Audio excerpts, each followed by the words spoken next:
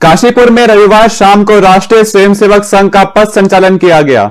Ramnagar road स्थित रामलीला मैदान में देर शाम राष्ट्रीय स्वयंसेवक संघ के हज़ारों स्वयंसेवक पंथ संचालन के कार्यक्रम में हिस्सा लेने के लिए एकत्रित हुए। आरएसएस का पथ संचालन रामनगर रोड स्थित रामलीला मैदान से शुरू होकर चीमा चौराहा, किला मोहल्ला, महाराणा प्रताप चौक से होता हुआ वापस रामलीला मैदान में आकर समाप्त हुआ। राष्ट्रीय स्वयंसेवक संघ के नगर कारवा ने बताया कि पथ संचालन के माध्यम से सभी को यह संदेश देना चाहते हैं कि हमारे संस्कृति और परंपरा के अनुसार चैत्र मास के प्रथम नवरात्र से नव वर्ष का आगाज़ होता है। इसी के साथ प्रकृति में भी प्रबल परिवर्तन और प्राकृतिक नवीनता भी दिखाई देती है। कार्यक्रम के दौरान सुरक्षा व्यवस्था को लेकर पुलिस प्रशासन मौजूद रहा।